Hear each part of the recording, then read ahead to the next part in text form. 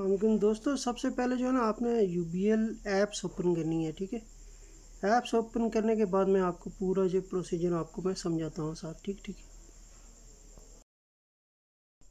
दोस्तों, सबसे पहले आपने ऐप्स ओपन करनी है, ठीक है?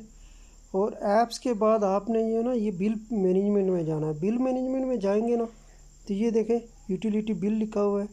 और ये यूटिलिटी बिल में ये ऊपर ऐड लिखा हुआ है ना ऐड ऐड पे लिख, आप रेफरेंस नंबर डालेंगे ना तो ये आपको सामने बिल नज़र आ जाएगा। अच्छा बाद लोगों को यहाँ पे नहीं नज़र आता ना। ये देखें, ये गैस का बिल और ये बिजली का बिल आ गया। ये दोनों ये दोनों कार्ड एकदम शो हो जाते हैं। ये ऊपर ऐड लिखा हुआ है ना, ये प्लस में रेफरेंस नंबर डालेंगे अपना बिल का तो ये सामने नज़र आ जाएगा, ठीक है?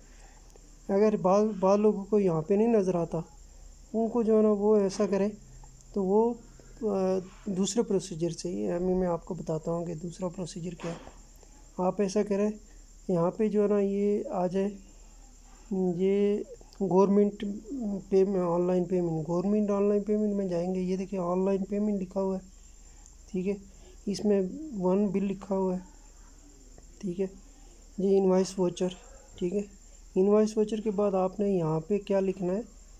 आपने सबसे पहले जाके इसमें इसमें सबसे पहले तो आपने ट्रिपल वन और ट्रिपल फोर लाजमी लिखना है, ठीक है? अब ये देखें, ये ये बिल है। ये बिल का रेफरेंस लाजमी लिखना है। बिल का रेफरेंस नंबर ये लिखा होता है ऊपर। और बिल का रेफरेंस नंबर क्या करना है? कॉपी करना है, ठीक है? बिल का रेफरेंस नंबर कॉपी करके फिर आपने ऐप में जाना है। और यहाँ पे आपने क्या लिखना है? ट्रिपल वन ट्रिपल फोर उसके बाद आपने इसको पेस्ट करना है। जो लिखा हुआ आपने जो रेफरेंस नंबर है ना कॉपी किया हुआ है। उसको यहाँ पे पेस्ट करना पेस्ट करने के बाद ये कंटिन्यू दबाएँगे तो ये देखें, ये बिल आ गया। और ये नीचे लिखा हुआ है, ये बिल आ गया ना सारा कार्ड, और उसके बाद ये नीचे लिखा हुआ है कि आप अपनी पेमेंट पे कर सकते हैं। यहाँ से आप पेमेंट कंटिन्यू करेंगे तो आपकी पेमेंट हो जाएगी। अगर आपको वीडियो अच्छी लगे तो सब्सक्राइब करना बेल आइकन को लाजमी दबाना।